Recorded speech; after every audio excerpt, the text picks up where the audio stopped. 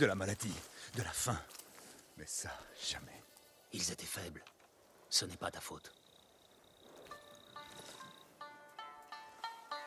Il y en a d'autres qui souhaitent partir